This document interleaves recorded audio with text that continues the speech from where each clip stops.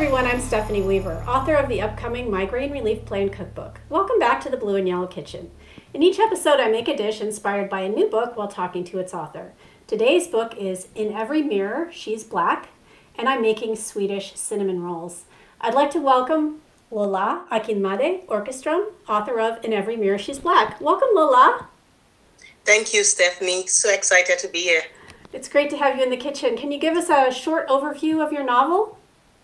Absolutely. Uh, so, in Every Mirror She's Black follows the lives of three very different Black women who end up in Sweden for very different reasons. And they're all loosely connected by a white Swedish man named Jonny. And so the story does follow the lives of Kemi, Brittany, and Muna. And we get to kind of live their lives, you know, through these words. So very good. And tell us a little bit more about the three heroines, because I love that the book is a multiple POV novel. Um, tell us about each of the three of them and their background and how they ended up, just very briefly, how they end up in Sweden. Yes, sure. So when I wrote this book, I really wanted to tackle the Black woman experience from the career angle, the class angle, and the culture angle. So right away, I knew I had to create three very different women. So Kemi is a very successful marketing executive in the US, great at her job, but when it comes to dating and finding love, she sucks at it. And so she ends up in Sweden because Jonny's company gets into trouble, like an international PR fiasco. And Kemi is the one that can help his company. So he comes to recruiter. That's how she gets into Sweden. And Brittany is a former model turned flight attendant who Jonny meets on his flight, business class, en route to the US. And that's that's that whole crazy relationship because he then just chases Brittany and becomes obsessed with her. That's how she gets to Sweden. And then Muna is a refugee who came from Somalia who lost her entire family on the trip uh, to Sweden. And she ends up in an asylum center that's funded kind of by Jonny and Jonny's family, and then ends up as jan- as a janitor in his office. And so that's kind of how all three women kind of are loosely tied to this one character, but they also end up in Sweden for different reasons. Yes, and I just thought it was a brilliant way of dealing with those themes of class, immigration, um, alienation, trying to fit in, assimilation, learning the language. You know, you have two characters, one who's coming from the US, one who's coming from Somalia. They're both trying to learn Swedish. And, and just all of the ways that that plays out. So, even though this book is set in Stockholm, it certainly is dealing with many issues that we're dealing with in the United yes. States. So I thought yes. it was it was just so fascinating to me. And the other thing that I just still can't even believe how many people turned this book down, Lola? Over 70 rejections of, 70. of the manuscript. Seven zero. Seven 70. zero rejections. Okay. Yes. So over that for, um, the, for the manuscript. And so thank you very much for sticking with it because I think it's a fantastic novel and which is why I want to feature it on the show. But also I think it just really speaks to part of the issue of publishing is what you were told was, well, we don't think, you know, middle-aged white ladies are going to relate to this book. Exactly. And I'm a middle-aged white lady, and I totally related to this book. Yes. So, so all my middle, middle-aged white ladies who are watching, you want to read this book. It is, Absolutely. it just taught me so much about, um, you know, the thing that's about literature is that it takes us into people's heads that we, you know, are different from us. It gives us into different situations. Um, and it illuminates uh, those issues in a way that feels very personal. So um, absolutely, um, yeah, and it's it's just a beautiful read. Uh, we don't do spoilers on the show, but I, I really encourage people to read it. Um, was there anything in particular that, that inspired you to write it? Like, was there kind of a, a reason you got started on it? Absolutely. So I've always written kind of fiction when I was younger before I became, you know, a travel writer and moved into uh, nonfiction. And so I was trying to rewrite some of those stories as an adult, you know, stories I wrote as a teenager with my adult voice, but I was struggling. And that's when I realized my kind of teenage fantasy was pretty much that fantasy. I wasn't really connecting to the characters as an adult. And so it was while I was on vacation when I had finished reading another book, I said, you know what, that's it that the story I'm supposed to write at this stage of my life is a lot closer to my own experiences. And I've had a lot of experiences. I've lived, you know, in different places for long periods of time. I've traveled a lot. I know this culture well. I've written another book that kind of delves into the mindset of the culture. So why don't you write from kind of what you know? And so that's kind of how this book came about. You know, many of the experiences, many of the people, many, even this asylum center was based on a place I actually visited many times as a photographer, you know, working on a photography project with the asylees and the refugees. So that was kind of how the book came about. Very good. And so you are um, Nigerian by birth, lived in America, and married a Swedish man. Did I get that right? Correct. Yes. Okay. Yes. So you can see that even though none of these characters are based on Lola's life, she had so much rich uh, material to draw from. So um, exactly. it really feels so authentic to me as an outsider. Like all these details about Sweden and and that assimilation process and learning the language and all of that um, really makes this book so richly textured. So that's another reason why I wanted to feature it. Oh, okay. Thank you so much. And, yeah. and the one thing I also wanted to add is I'm also a travel writer. And what we do is we try to capture this kind of sense of place in our writing anyway. So I think that was also what helped in terms of writing this fiction, being able to capture a sense of place and then writing with a bit of urgency because as a travel writer, you get what, a thousand words yes. to write your story. Yes. So that was kind of how I was writing this Very with good. that intensity. Yeah. So, um, so the recipe I'm making today is Swedish cinnamon buns, and we'll talk about the recipe and why I chose it after Lola reads. So I've asked her to read a passage from the book, and while she's doing that, I'm going to plate one of the cinnamon buns, and then we'll talk about it. So why don't you go ahead and set up what you're going to read for us, and then go ahead and read. Absolutely. So this is from page 164, and this is when Muna and Kemi kind of meet. I think they've met before, but this is the first time they kind of interact, right? So this is from Muna's point of view. Muna stood half hidden by the wall, observing the black African sister with the American accent. She was sitting in a corner, hunched over a laptop, studying something intently on the screen.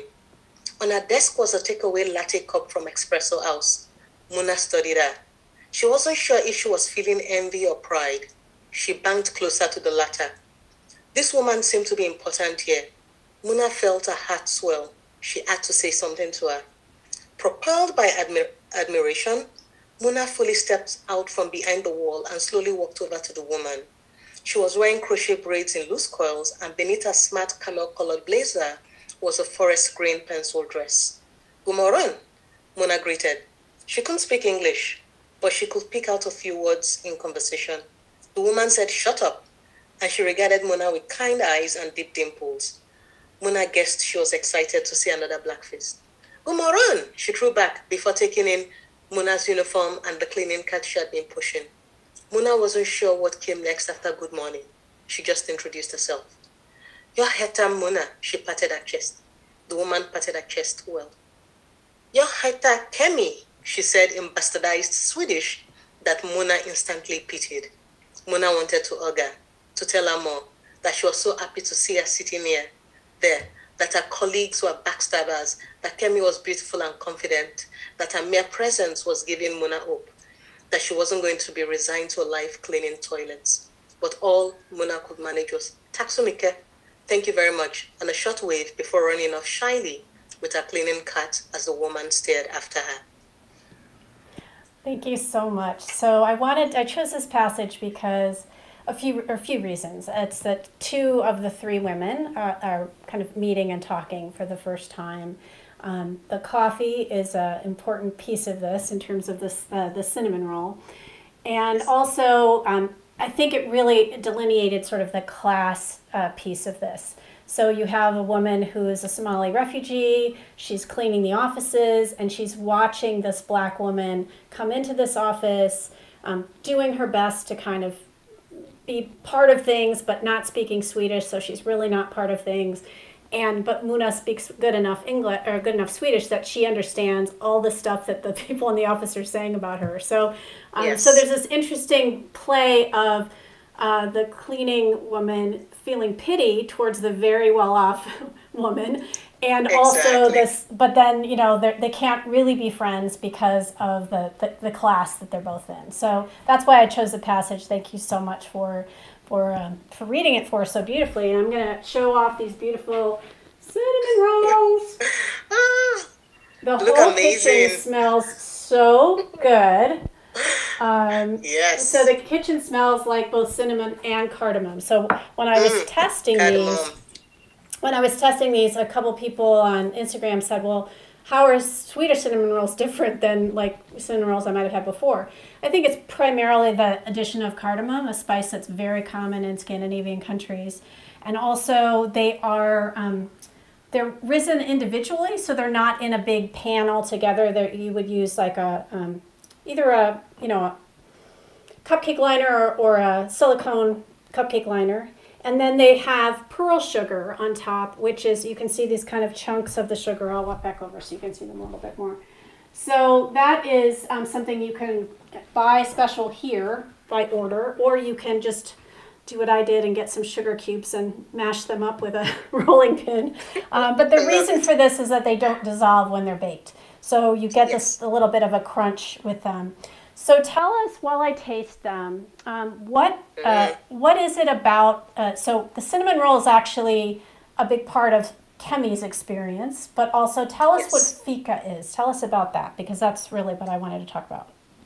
Absolutely. So fika is a very ingrained Swedish culture, uh, cultural kind of lifestyle thing where people take breaks, several, they call them fika breaks, with, uh, you know, several times during the day to just kind of stop, recalibrate, take a pause, you know, see I'm speaking Swedish now, take a pause with, uh, you know, friends or colleagues or family to just kind of recalibrate and rest before going back to work. So it's a way of, it's a very social um, kind of institution here, you know, and fika is really revered. It's one of my favorite parts of the culture where you just, and it kind of, even though it seems like oh it's fun taking coffee and, and breaking for cinnamon buns, it's actually a way of recalibrating so that you're always balanced. You know, if everybody has an internal skill, it's a way of balancing so you're not working too hard, you're not stressing too hard, you're just taking moments to rebalance your internal skill Very and then get back. So I love it. That's fantastic, and I th- I wish that we did this in America because I think everybody needs some balance and recalibration. Um, but also Yes. later in the story, Muna imagines, fantasizes about asking Kemi out for coffee, and then realizes that she really can't do that. She can't cross that divi- divide. So um, so that is you know she she's sort of hoping they can be friends because they're you know there's only two black people in this office and she thinks maybe we can be friends but they she really can't ever cross that divide. And loneliness is a big uh, theme in the book as well loneliness and displacement. So i wanted Yes. to describe these. So um, the whole kitchen smells like uh, both cinnamon and cardamom. So those very warm spice notes you get the um, so it's a very yeasty tender dough. So when i took a bite it's, there's a lot of delicious chewing. Um, but you get the Yes. kind of the cardamom first because it's a little bit stronger spice and then the cinnamon is kind of the back note. And then you get a little bit of crunch from those sugar pieces on the top. So delicious recipe. It will be up. Um, you'll find the recipe in my in the comments on facebook and in my bio on instagram. Okay, so um, anything else? Any last moments? Oh, and then my recipe tips you want to use really high quality cinnamon and really high quality cardamom if you can. So, because they make a huge difference. And so I love Vietnamese cinnamon from Penzeys Spices. And I actually got um, actually ground fresh cardamom pods. So I think that's partly why, even though there's not a lot of cardamom in it, it really has that super Strong. beautiful, strong, strong in a good way. Yeah. If you like cardamom, Yes. if you don't, you can leave it out. But for me, it's what sets these apart and makes them taste different. Um, and then the only other thing is just make sure you let them rise until they are fully doubled in size. And, and my yeast was a little bit slow. So it took much longer than the recipe initially called for, but you get this, you know, really beautiful buns at the end. So that's great. Um, anything, any last uh, notes you wanted to give for us today? You mean in terms of the cinnamon buns? Oh, no, no, no, about the book. about the book. yes no absolutely i mean i think it's a you know it's a book that's very nuanced you know and i think you when i read that passage you know about muna and kemi meeting there was just a lot of nuance you could pick up where even you know muna was feeling uh, sorry for kemi so it's a it's a very layered book it's a book i wrote with very direct, tight prose because I really wanted people to remember the characters at the end of the book and their lives instead of saying, oh, the, the author wrote with this exquisite prose. That wasn't the point of this book. The point is, I want you to remember Kemi, Brittany, and Muna. So and, that's all. I'll, and they I'll are add. all three unforgettable. Lola, thanks so much for being here today. Thank you so much, Stephanie. My pleasure. You'll find the recipe link in the Facebook video or on my website, migraine-relief-recipes.com, and in my bio if you're watching this on Instagram or you found me on Twitter. You'll find her at akinmade.com. And if you enjoyed the show, please share it with a friend. Order a copy of In Every Mirror She's Black wherever you like to buy books. And if you don't have a book buying budget right now, please ask your local library to carry it because they purchase the books and that helps authors as well. Follow me at sweavermph and like my Facebook page so you don't miss an episode. Join us next time for another author interview and a dish inspired by their book. Thanks so much for watching The Blue and Yellow Kitchen.